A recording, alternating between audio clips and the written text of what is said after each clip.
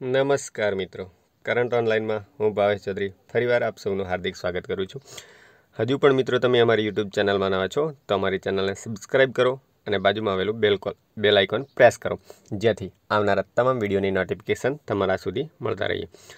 ચલો મિત્રો, તો શરૂઆત કરીએ આપણે. વર્તમાન બનાવ. દર વખતે ટોપિક વાઇઝ વર્તમાન બનાવની ચર્ચા કરતા હોઈએ છીએ. તો આ વિડીયોમાં પણ એ રીતે ચર્ચા કરીશું મિત્રો. તો સૌપ્રથમ જોઈએ એક ક્વિઝ મિત્રો, કે એકમાત્ર રાષ્ટ્રપતિ કે જેઓ બીજા રાઉન્ડની મતગણતરી બાદ ચૂંટાયા હોય. એવા કયા રાષ્ટ્રપતિ છે જેઓ બીજા રાઉન્ડની મતગણતરી બાદ ચૂંટાયા હતા? વીવી ગીરી, ડૉક્ટર ચાકીર હુસેન, નીલમ સંજીવ રેડ્ડી ક્રેક જ્ઞાની જેલસિંહ. અને બીજો પ્રશ્ન છે મિત્રો, એ, બી અને સી ત્રણ ઉમેદવારોએ રાષ્ટ્રપતિ પદ માટે ઉમેદવારી નોંધાવી છે. તો કોઈ એક ઉમેદવારને જીતવા માટે કેટલા ટકા મત જોઈએ છે? જે પણ મિત્રોને જવાબ આવડે કોમેન્ટ બોક્સમાં કોમેન્ટ કરે. ઓકે મિત્રો? અને આ પ્રશ્નો તમે મિત્રો વિડીયોના અંતમાં આપણે આની સોલ્યુશન કરીશું. બરાબર? આ વિડીયોને સ્કીપ કરતા નહીં મિત્રો. આ ક્વેશ્ચનમાં તમને ઘણું બધું જાણવા મળશે. મતલબ કે રાષ્ટ્રપતિની ચૂંટણી પ્રક્રિયા કેવી છે એ જાણવા આપણે વિગતે વિડીયોના અંતમાં ચર્ચા કરીએ. ચલો તો લેટ સ્ટાર્ટ શરૂ કરીએ આપણે સૌપ્રથમ રાષ્ટ્રીય બનાવોથી. તો જોઈએ મોન પ્રોજેક્ટ મોનિટરિંગ યુનિટ શું છે જોઈએ? તો કે તાજેતરમાં કેન્દ્રીય કોલસા મંત્રાલય દ્વારા ફાળવવામાં આવેલા કોલસાની ખાણોની જલ્દી સંચાલનની સુવિધા માટે આ પ્રોજેક્ટની શરૂઆત કરવામાં આવી છે. બરાબર? જે કોલસા મંત્રાલય છે, એના દ્વારા કોલસાની ખાણોની જલ્દી સંચાલન માટે આ પ્રોજેક્ટ શરૂ કરવામાં આવ્યો છે. આ પ્રોજેક્ટ મોનિટરિંગ યુનિટ શરૂ કરવાનો હેતુ છે કે કોલસાની ખાણોની જે હરાજી બોલાય છે, એમાં વધુ બોલ, બોલનારાઓને આકર્ષવાનો મુખ્ય હેતુ છે.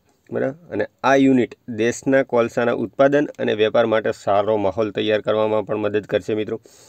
ભારત પાસે વિશ્વમાં સૌથી વધુ કોલસા નંબરે કયા નંબરે છે ભારત? પાંચમા નંબરે છે. કોલસાનો ભંડારમાં ભારત પાંચમા ક્રમે છે એ પણ મિત્રો ખાસ યાદ રાખજો. ભારતમાં સૌથી વધુ કોલસા ઝારખંડ રાજ્યમાંથી મળી આવેલ છે. તે ઉપરાંત બિહાર, પશ્ચિમ બંગાળ, ઓડિશા અને છત્તીસગઢમાંથી પણ કોલસો પ્રાપ્ત થતો હોય. છે. હવે પ્રોજેક્ટ મોનિટરિંગ યુનિટ એવું પૂછાય કે કયા કોની સાથે સંકળાયેલો છે? તો કોલસાની ખાણો સાથે. અને કોલસાની ખાણો જે જલ્દી જે શરૂ કરવામાં આવી છે, એમાં જલ્દી સંચાલનની સુવિધાઓ માટે આ પ્રોજેક્ટ શરૂ કરવામાં આવ્યો છે. ઓકે મિત્રો, તો એ બાબત ખાસ યાદ રાખજો. અને કોલસાની વાત થઈ છે તો પરીક્ષામાં, અવારનવાર પરીક્ષામાં અહીંથી પ્રશ્ન પૂછાતા હોય છે મિત્રો, તો એ ખાસ યાદ રાખજો. કોલસો મુખ્યત્વે ચાર પ્રકારનો હોય છે. પીટ કોલસો લિગ્નાઇટ કોલસો, બિટ્યુમિન કોલસો અને એન્થ્રેસાઇડ કોલસો. શું છે જોઈએ આપણે મિત્રો? કે પીટ કોલસો છે સૌથી હલકી ગુણવત્તા ધરાવતો કોલસો છે. જે લાકડામાંથી થતા કોલસાના રૂપાંતરની પ્રાથમિક અવસ્થાને આપણે પીટ કોલસો કહીએ છીએ. તેમાં કાર્બન કેટલા ટકા હોય છે? અઠ્યાવીસ ટકા. એટલે સૌથી હલકી ગુણવત્તા ધરાવતો કોલસો કયો? તો પીટ કોલસો. બરાબર? અને લિગ્નાઇટ કોલસો છે એમાં અઠ્યાવીસથી ત્રીસ ટકા કાર્બન હોય છે. અને બિટ્યુમિન કોલસામાં ઇઠ્ઠોતેરથી છ્યાસી ટકા કાર્બન હોય છે અને સૌથી ઊંચી ગુણવત્તા ધરાવતો કોલસો એટલે એન્થ્રેસાઇટ કોલસો મિત્રો. પરીક્ષામાં એવું પણ પૂછાય કે સૌથી ઊંચી ગુણવત્તા ધરાવતો કોલસો કયો? તો એન્થ્રેસાઇટ. આ કોલસો ખનિજ કોલસાનું પરિપક્વ રૂપ ગણાય છે. પરીક્ષામાં એવું પૂછાય, કયો કોલસો ખનિજ કોલસાનું પરિપક્વ રૂપ ગણાય છે? તો એન્થ્રેસાઇટ કોલસો અને જેમાં ચોરાણુંથી અઠ્ઠાણું ટકા કાર્બન હોય છે. એ પણ મિત્રો ખાસ યાદ રાખજો. ચલો જોઈએ નેક્સ્ટ. ભારતીય નૌકાસેના દ્વારા એક ઓપરેશન શરૂ કરવામાં આવ્યું છે. નેવું નામ આપ્યું છે સમુદ્ર સેતુ. ઓપરેશન સમુદ્ર સેતુ. હવે આ ઓપરેશન શું છે મિત્રો? કે આ ઓપરેશનની મદદથી જે કોવિડ નાઇન્ટીન રોગચાળા દરમિયાન વિદેશમાં જે ભારતીયો ફસાયેલા છે, એમને ભારતમાં પરત લાવવાનો, પરત લાવવા માટે નૌકાદળ દ્વારા આ ઓપરેશન શરૂ કરવામાં આવ્યું છે. જે વિદેશમાં ભારતીયો ફસાયેલા છે, એમને ભારતમાં લાવવા માટે આ ઓપરેશન શરૂ કરવામાં આવ્યું છે. હવે આ અભિયાનની કામગીરીમાં સંરક્ષણ મંત્રાલય, વિદેશ મંત્રાલય, ગૃહ મંત્રાલય અને આરોગ્ય મંત્રાલય ભારત સરકારની વિવિધ એજન્સીઓ અને રાજ્ય સરકારો સાથે ગાઢ સંકલનથી આ ઓપરેશન પાર પાડવામાં આવશે. બરાબર? અને પ્રથમ તબક્કામાં ભારતીય બે સમ, ભારતીય સમુદ્રી બે જહાજો છે. કયા કયા? જલસ્વા અને મગર. બરાબર? આ બે જહાજોને માલદીવના માલે બંદરેથી કુલ એક હજાર વ્યક્તિઓને પરત લાવવાની યોજના છે. પ્રથમ તબક્કામાં બે જહાજ મોકલવામાં આવ્યા છે ક્યાં? માલદીવમાં. જે જલસ્વા અને મગર આ બંને નામના જહાજો છે મિત્રો. તો પરીક્ષામાં પૂછાય કે ભારતીય નૌકાસેના દ્વારા જે ઓપરેશન સમુદ્ર સેતુ શરૂ કરવામાં આવ્યો, તેમાં કયા જહાજનો ઉપયોગ કરવામાં આવ્યો હતો? તો જલસ્વા અને માલદીવ. અને સૌ પ્રથમ તબક્કો કયા દેશમાંથી પરત લાવવામાં આવ્યા ભારતીયોને? તો માલદીવના માલે બંદરથી. એ પણ મિત્રો ખાસ યાદ રાખજો. અને ઓપરેશન સમુદ્ર સેતુ કોની સાથે સંકળાયેલો છે? તો વિદેશમાં ફસાયેલા ભારતીયોને ભારતમાં પરત લાવવાના હેતુથી આ ઓપરેશન શરૂ કરવામાં આવ્યું છે. ભારતીય નૌકાદળની વાત થઈ છે તો એની સ્થાપના પાંચ સપ્ટેમ્બર સોળસો ને બારમાં અને નેવી ડે એટલે કે નૌકા દિવસ ચાર ડિસેમ્બરના રોજ ઉજવવામાં આવે છે અને હાલમાં નૌકાદળના વડા છે એડમિરલ કરમબીર સિંહ. એ પણ મિત્રો ખાસ યાદ રાખજો. ચલો જોઈએ આપણે નેક્સ્ટ. વૈજ્ઞાનિક બનાવોમાં જોઈએ મિત્રો હવે. તો આર્કટિક જળવાયુ અને પર્યાવરણ નિરીક્ષણ માટે રશિયાએ પોતાનો પ્રથમ ઉપગ્રહ લોન્ચ કર્યો છે. કોણે કર્યો છે? રશિયાએ જે આર્કટિક ક્ષેત્ર ક્ષેત્ર છે, એન્ટાર્કટિક અને આર્કટિક, આપણે બધા જાણીએ છીએ. તો એ આર્કટિક ક્ષેત્રમાં જળવાયુ અને પર્યાવરણના નિરીક્ષણ માટે રશિયાએ એક ઉપગ્રહ લોન્ચ કર્યો છે, જેનું નામ આપ્યું છે આર્કટિક એમ વન. બરાબર? જે ઉપગ્રહ લોન્ચ કરવાની યોજના બનાવી છે. આર્કટિક એમ વન અવકાશયાન વિકસિત કરવામાં આવ્યું છે.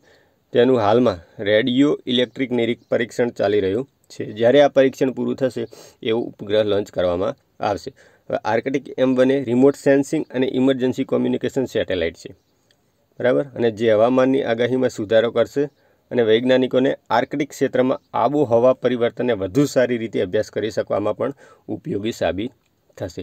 બરાબર? તો આર્કટિક એમ વન ઉપગ્રહ કોના માટે અને કોણે લોન્ચ કર્યો છે. તો ખાસ યાદ રાખજો મિત્રો કે આર્કટિક જે એમ વન નામનો ઉપગ્રહ છે, એ આર્કટિક ક્ષેત્રમાં જળવાયુ અને પર્યાવરણના નિરીક્ષણ માટે રશિયાએ લોન્ચ કર્યો છે. આ ઉપગ્રહનું મુખ્ય લક્ષ્ય શું છે કે આર્કટિક જે પ્રદેશ છે, એની હવામાન પરિસ્થિતિઓ પર નજર રાખવામાં આવશે. બરાબર?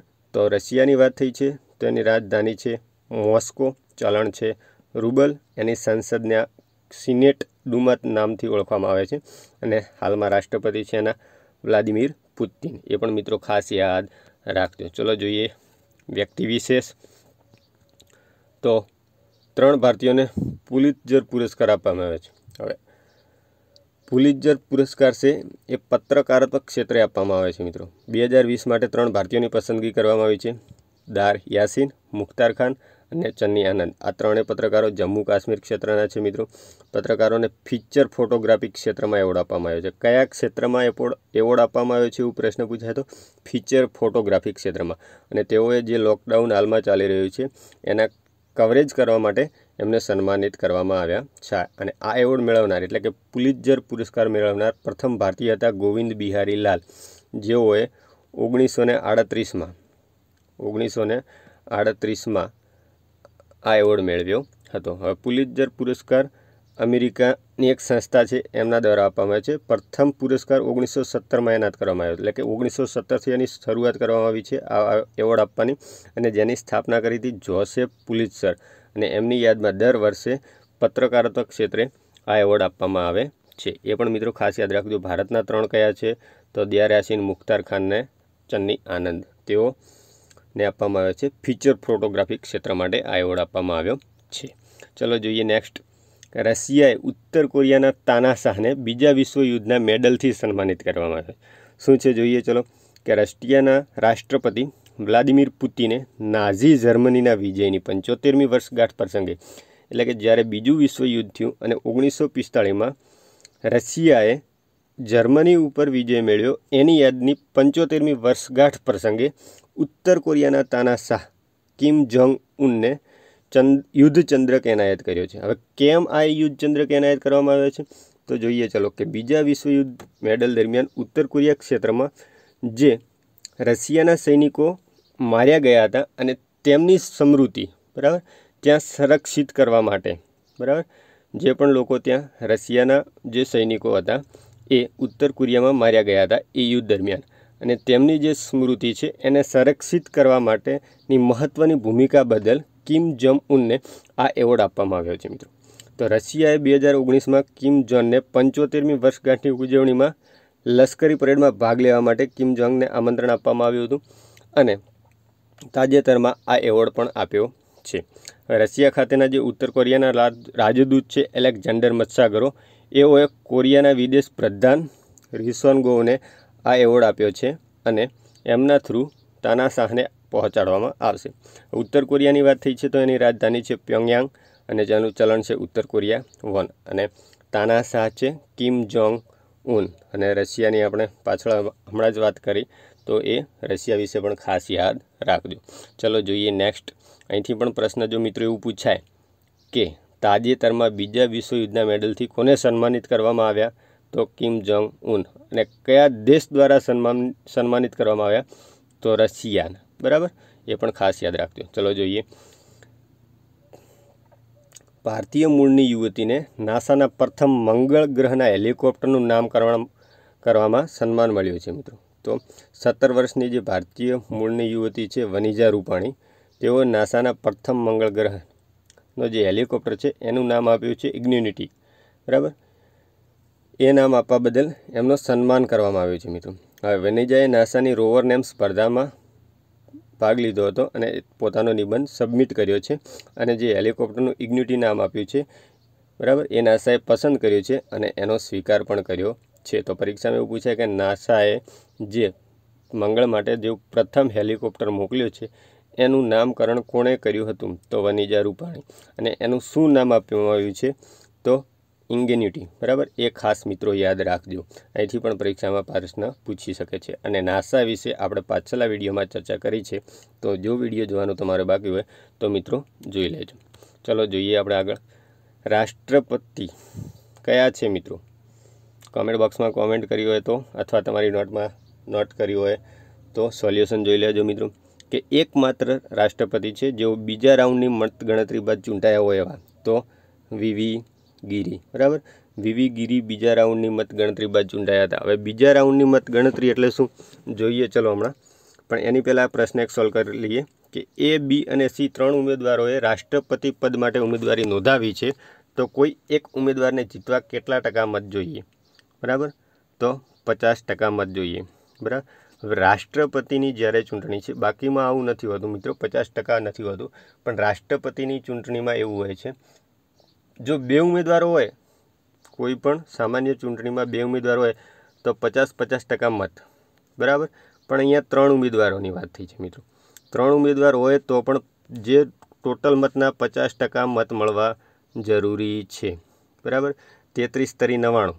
બરાબર? કોઈને ચોત્રીસ ટકા મત મળ્યા છે અને બંનેને તેત્રીસ કે બત્રીસ ટકા એ રીતે મત મળ્યા છે, તો ચોત્રીસ ટકાવાળો અહીંયા ઉમેદવાર ઉમેદવારી એને રાષ્ટ્રપતિ તરીકે જાહેર કરવામાં આવશે નહીં, પણ પરંતુ ટોટલ મત જે હશે એના પચાસ ટકા મત તો મળવા જોઈએ. ચલો જોઈએ કઈ રીતનું હોય છે દાખલા તરીકે. એ, બી અને સી. આ ત્રણ ઉમેદવારો છે મિત્રો. હવે આપણે સો મત છે તારી લઈએ કે સો મત છે. સો મતમાંથી પિસ્તાળીસ મત આમને મળ્યા છે એટલે કે પિસ્તાળીસ ટકા. બરાબર? સો ટકામાંથી પિસ્તાળીસ ટકા મત એમને મળ્યા છે મિત્રો. ચાલીસ ટકા મત બીને મળ્યા છે. બરાબર? અને પંદર ટકા મત સીને મળ્યા છે. તો આ ત્રણમાંથી કોણ ઉમેદવાર વિજેતા ગણાય? એક પણ નહીં મિત્રો. કેમ કે પચાસ ટકા મત મળવા જરૂરી છે. બરાબર? હવે વિવિગીરી બીજી વખતની જ્યારે મતગણતરીથી એ વખતે જાહેર કરવામાં આવે. હવે બીજી વખતની મતગણતરી એકલ સંક્રમણીય આપણે કહીએ છીએ. એકલ સંક્રમણીય. એકલ સંક્રમણીય એટલે જો કોઈને પચાસ ટકા મત થતા ન હોય મિત્રો, તો શું કરવામાં આવે? જે સૌથી ઓછા મત છે એ ઉમેદવારને રદ કરી અને આના મત જે હોય એ આ બંનેને સરખા ભાગે આપી દેવામાં આવે છે. પંદર ટકા મત છે તો સાડા સાત ટકા અહીંયા અને સાડા સાત ટકા અહીંયા. એ બંનેને એ રીતે ભેળવી દેવામાં આવે છે. હવે પિસ્તાલીસ પ્લસ સાડા સાત ટકા એટલે પિસ્તાલીસને સાત બાવન? બાવન પોઈન્ટ પાંચ. એટલે અહીંયા કેટલા થઈ ગયા? બાવન પોઈન્ટ પાંચ અને ચાળીસને સાત, સુડતાલીસ પોઈન્ટ પાંચ. એટલે આ પચાસ ટકા ઉમેદવાર થઈ ગયા કમ્પ્લીટ તો એ છે એને વિજેતા જાહેર કરવામાં આવશે. આવી રીતે મિત્રો, વિવિગીરી બીજા વખતની મતગણતરી બાદ ચૂંટાયા હતા. એ પણ મિત્રો ખાસ યાદ રાખજો. બરાબર? તો રાષ્ટ્રપતિની ચૂંટણી એકલ સંક્રમણીય રીતે. બરાબર? અને આવી રીતે મતગણતરી થતી હોય છે, બરાબર? તો એ પણ ખાસ મિત્રો યાદ રાખજો. પચાસ ટકા પ્રોપર એમના મત જોઈશે. પચાસ ટકા જો મત મળશે, તો એ ઉમેદવાર વિજેતા જાહેર ગણવામાં આવશે, બાકી એ ગણવામાં આવશે નહીં, બરાબર? તો જેને ઓછા હોય છે, એને કાઉન્ટ એ અને બીમાં કરી દેવામાં આવે છે. એ પણ મિત્રો ખાસ યાદ રાખજો. ચલો. થેન્ક યુ મિત્રો. તમે હજુ પણ અમારી યુટ્યુબ ચેનલમાં નવા છો સબસ્ક્રાઈબ કરો, તમારા મિત્રો સાથે શેર કરો અને લાઇક બટન પ્રેસ કરો મિત્રો. ઓકે મિત્રો. Thank you